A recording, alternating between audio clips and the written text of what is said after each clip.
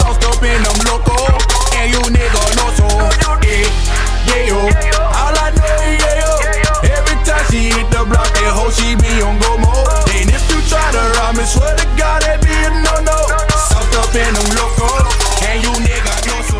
Hey, what's up, world? It's your girl Brittany, and today I have Memphis's own Snootie Wild. What's going on? Yeah, what it do, what it do, what it do. How are you?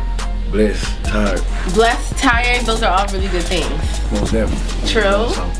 Um, wait. So Yayo is the craziest song out right now. oh yeah, come on. It's taking over the city, taking over the world. Make Taking rap. taking over our brains. Yeah, Because you hear it one time and then you be like, Orlando, yeah. That's Get stuck with and then that's it. And everybody's like, what are you talking about? Like people don't listen to hip hop. Like I was singing that, and mom's like, what the fuck are you talking about? And I was like, mom, like Put this in your. chill. Like let me sh- let me put you on to something. She was like, oh, I heard this song on the radio before. I'm like, yes, you have. Um, so how have you been enjoying your success? you know, work, uh, letting me know that I'm coming to something, doing something right in my life for the first time. So, you know, I'm enjoying it. Okay. Okay, so can you explain to our viewers what go mode is? Go mode. Anybody don't know what go mode means, that means if you stop going, you might as well die. You might as well stop breathing. Like you can't you can't live without movement, without doing something with your life. You know what I'm saying? Just sitting there not doing anything, you're not existing. So always have your mind on go mode. Don't never stop going. You have a lot of Spanish words. And yeah, yo. You like macho, guapo, oh, God. nacho. All that. You know a lot of Spanish? I let me go. Now you know I got uh, I got Spanish people in my family. Okay. So you know I'm mixed with a little bit far as through that, through my genes. Uh, got a couple of Spanish friends out there in the streets. So I just kind of get it. I my translation from them. Okay. Cause I'm like, yo, I'm like, am I speaking Spanish right now? I don't know. Snootie got us speaking Spanish out here. Hey, folks too. Yeah, bilingual out here. Exactly. True. So you got your name actually from your father, right? Right. Um, and your father was kind of a mover, shaker in the streets. Right. Right. Most definitely. You know what I'm Uh. saying? legendary in the streets, North Memphis. Uh, his name was Snootie. Like we, we actually got the same first real name and nickname. Okay. Yeah, so uh, you know, he was a legend in the streets, so of course I, I, I enjoy my name, I love my name, like a pass. True. You know what I'm saying? The Wild, they, they just come from living, they just come from being in the streets, in and out of incarceration, so they just put it together and it made sense. Mm -hmm. And you spent uh, Four years. four years in prison. Right. That's a you know significant amount of time. Right, most definitely. Um, so how has it changed you? Uh, I, I, I, I most definitely say it wising me up.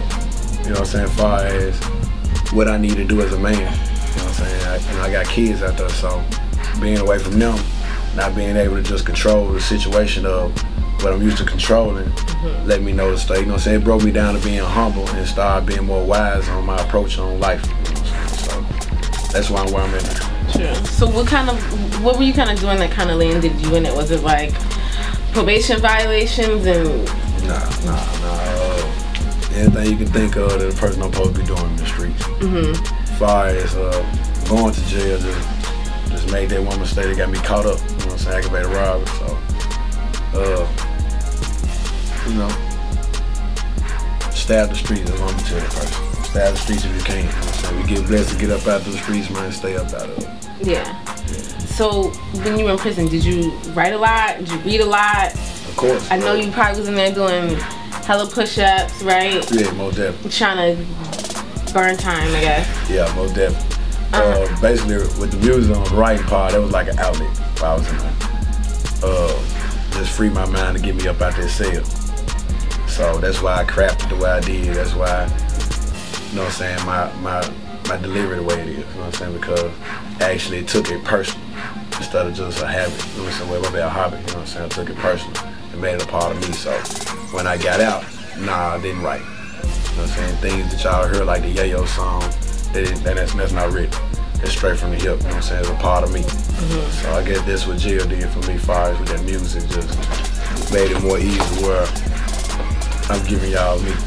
You have this new record too with K Camp. Shout out to K Camp, my little homie. K Camp was here yesterday. Ah, okay, that's what's up. That's Yeah, so he, you know, Yeah, we on that grind, man. You know what I'm saying? Like, you know, he respect my music, I respect his music. He heard me, uh, reached out, reached out to me. Uh, I think I was just leaving the show. Yeah, we was just leaving the show, like somewhere, some part of Atlanta. Mm-hmm. And uh, we was going through Atlanta. I got that call. You know what I'm saying? He wanted me to come to the studio. You know what I'm saying? Vibe with him, which it was a good vibe, great vibe. Now we got this great hit coming out. That's that that made me. So y'all look out for it. True. Um, so let's talk about growing up in Memphis.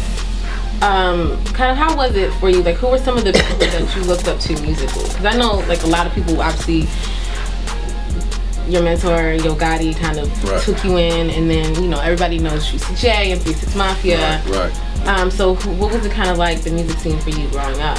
Uh, them basics right there. Got it. Uh, Three Six Mafia.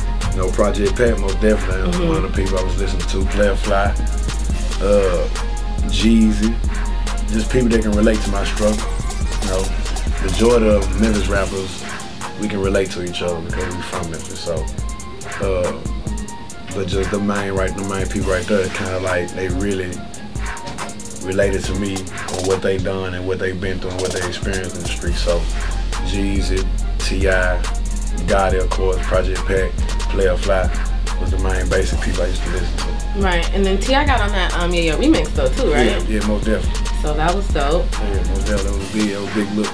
Shout out to my big brother T.I. looking out for me. So what um are you working on right now? Uh, we got the CMG mixtape chapter one coming out. Okay. It's coming out next week. Shout out to Big Brother Gotti and Zed Zilla, Wade Chappelle. Y'all know what it is. That's the team. Uh, my mixtape will probably be out a month after this. Snootie Wild Go Mode. Y'all already know what Go Mode means. I know. We ain't gotta break that down. go, go get it. All I know, you know it is your boy Snootie Wild and you watching Global Grind TV. Huh? Accurate. I don't know. This is how they do it, right? They rub it like this, and then they. Ooh, isn't it? Yes. He's been gone since November 20. I know the dates because it was the day my father was taken away.